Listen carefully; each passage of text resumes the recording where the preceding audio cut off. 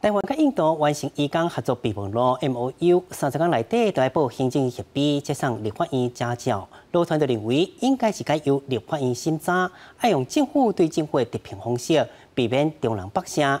罗同部的回应，会在未来会议讨论。移港 MOU 要审议。大声话口号要求担任移港的 MOU 要由立法院审议。而且，移工引入就要采用政府对政府的敌评方式。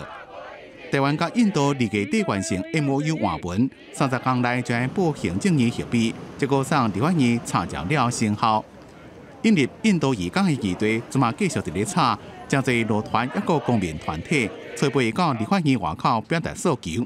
因认为印度移工引入对台湾的劳工、其他地区的劳工，一个台湾社会影响不加大。应该该由立法院审查，避免恶性作业。谈的事情换成是跨跨国劳动力引进的时候，换成被影响的对象是劳工的时候，就变成查照。为什么可以这样？先跟对方签完，行政院被查，立法院念一念就通过了。立法院把关是民主国家运作的一个最基本的原则。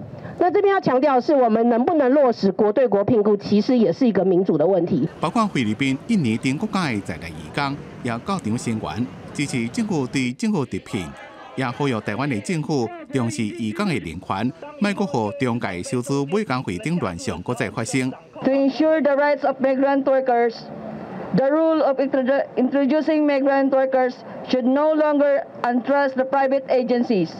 Instead, A fair public employment service system should be established by the government involved. 那当然，我们在跟未来在跟印度召开双边的这个工作小组会议里面，引进的方式也会把直聘这样的一个方式也共同的来讨论。对此，劳动部回应讲，未来一个加印度方面进行工作上级别会谈，讨论包括连锁行业等等，包括直聘等方式，也拢会列入未来讨论。记者综合报道。